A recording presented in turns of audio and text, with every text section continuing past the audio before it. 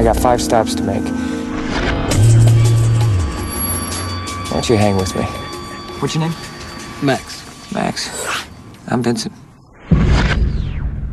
Definitely not from around here. Oh no! What the hell?